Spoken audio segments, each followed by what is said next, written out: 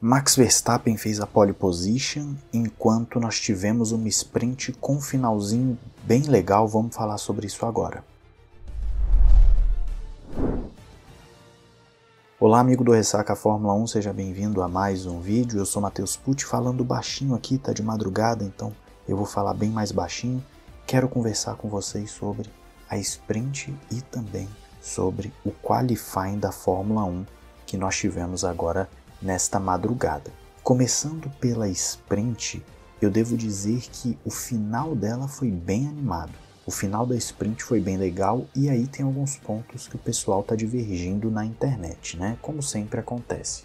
Só que o Norris, falando ali do início, o Norris vai defender a posição em relação ao Hamilton, vai para fora da pista, acaba perdendo posições. Você tem as duas Ferraris atacando as duas Red Bulls, o que foi legal de ver até você, você poder perceber as Ferraris um tanto quanto desequilibradas, corrigindo muito o carro, mas ainda assim indo para cima das Red Bulls.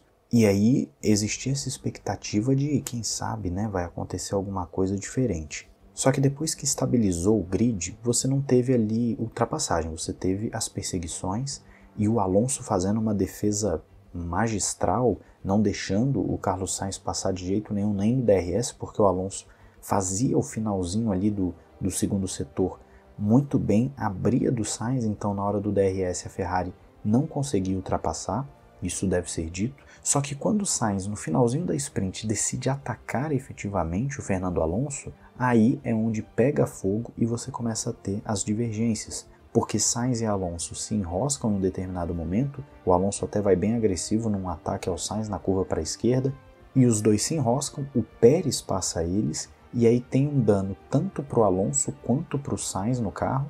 O Sainz, inclusive, posteriormente vai ter um reparo de assoalho para o qualifying.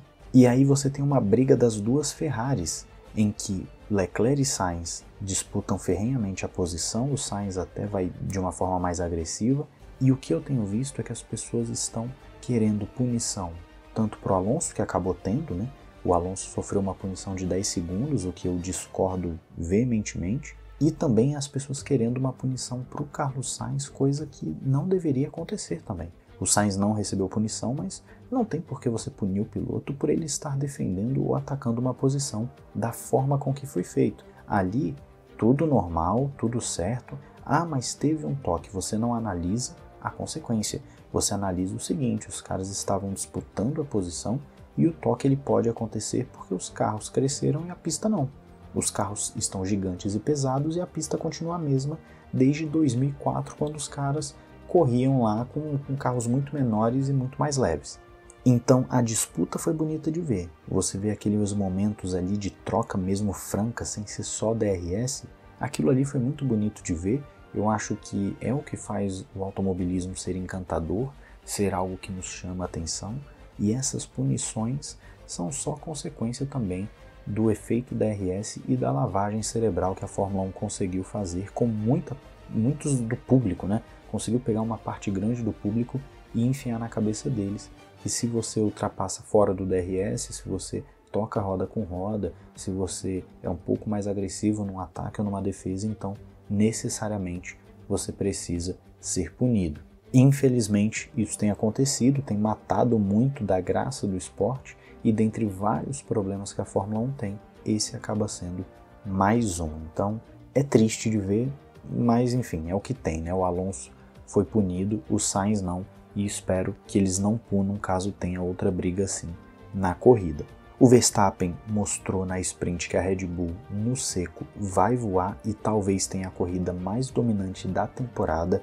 O ritmo de corrida da Red Bull com Verstappen e com Pérez foi surreal então, uma vez que eles conseguiram se desvencilhar do tráfego, eu diria que não teve mais como você pegar a Red Bull, nem mesmo a Ferrari, quando muitas vezes tinha um ritmo de corrida legal.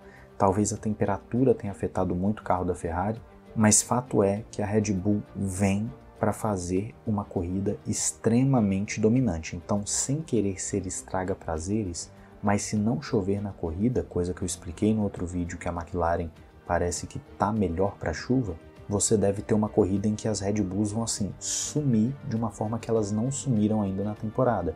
Lembrando que tiveram uma atualização importante no último Grande Prêmio, então eles em tese aumentaram o gap para a Ferrari, enquanto a Ferrari só vai ter as suas grandes atualizações a partir de Imola. Então não espere grande coisa. Pegando como base o que nós vimos na sprint, a Red Bull deve dar um banho em todo mundo maior do que foi até agora nas outras provas de 2024. O Verstappen deve sobrar de uma forma assim surreal. Agora, falando de qualifying, eu diria que nós tivemos algumas surpresas. Por exemplo, Lewis Hamilton, que foi bem na sprint, ficou no Q1.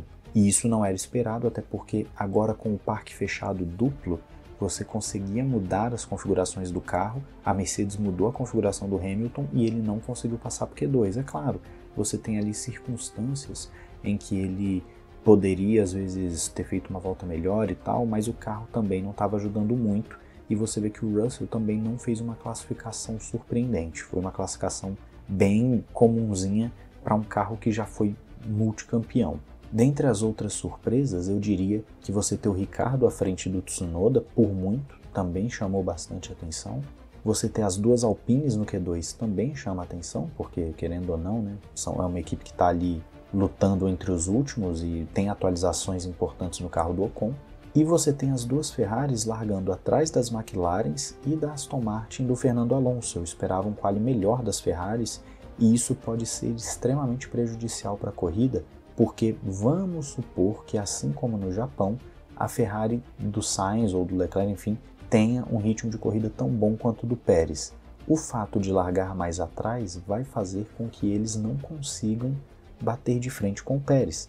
Então é um prejuízo enorme para a Ferrari largar em sexto e em sétimo. Era para a Ferrari estar tá largando em terceiro e quarto, ou quem sabe brigando ali com o Pérez por um segundo lugar, já que o Pérez ficou três décimos atrás do Verstappen, é um mundo de diferença, então você poderia se encaixar naquele gap. Por outro lado, eu devo elogiar o qualifying do Alonso e das duas McLarens, porque eles colocaram carros que não são grande coisa de reta e que não tem uma grande perspectiva no seco para esse grande prêmio, conseguiram pegar esses carros e colocar ali entre o terceiro e o quinto lugares. Realmente foi um quali muito forte dessas equipes, desses pilotos, que a gente deve sim aplaudir, deve sim dar os devidos créditos. Menção honrosa, você vai ter ao Huckenberg e ao Bottas que também fizeram bons quales dentro da realidade dos seus carros.